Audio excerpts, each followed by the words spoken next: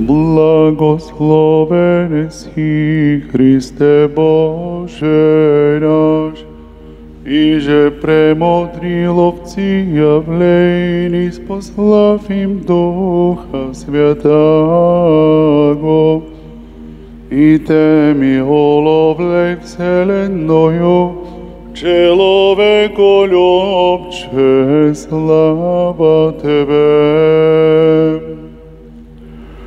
Пророче и предтече пришествија Христова, достојно восхвалити Тя недомем ми любови што Тя.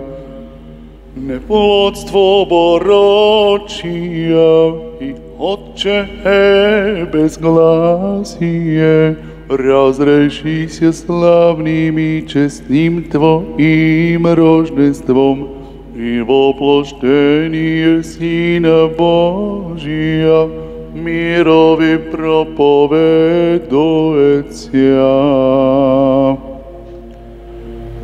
Агница Твоя, Исусе Феврония, зове дверим гласом. Тебе желише мој люблю, и Тебе истошни страдалчествою, и сраспинају се, и спогребају се крещенију Твоему. И стражду Тебе ради, и ако да царствую в Тебе, и умирају за Тјада, и живу с Тобою, но јако жертво непорочно ја примим ја, с любовью пожертвую я Тебе. Твоя молитвами, яко милостив спаси души наши.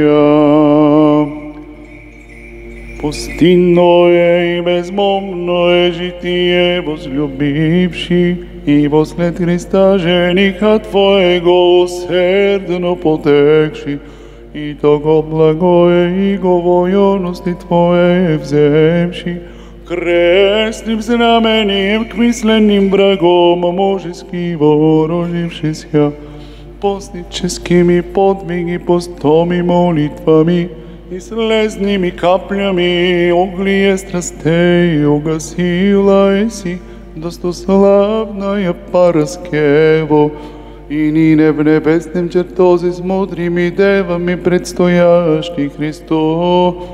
Моли о нас, почитающих честною память Твою. Прежде неплодни днес Христова предтечу рождает, to jest ispunjenje svjakog proročestva. Egoževo proroci propovedaša, nas egovo i ordane, ruko položiv і обіця Божія слова пророк, проповедні вкопе і предтеча.